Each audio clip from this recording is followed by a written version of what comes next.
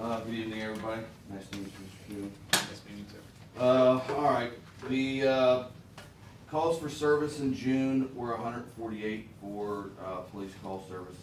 There were thirty-four non-billable. Three cases were assigned to detectives during this, uh, rating period.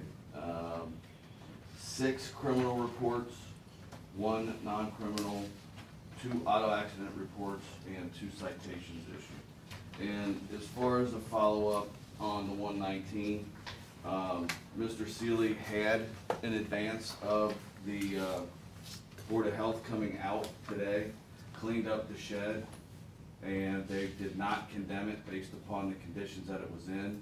But from my understanding in the conversation that we had today, that he is going to be taking it down because it's, uh, becoming more of a hassle for himself Yeah. and his property because of the homeless that won't stay off his property. I had a lengthy conversation with him today about what we will No do way. for him.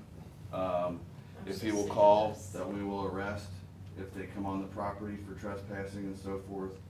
And, um, it's just, it's a, it's a work in progress, so hopefully that, that'll be the, the olive branch, so to speak, will be reached and we can start Can I have an olive branch? certainly. So,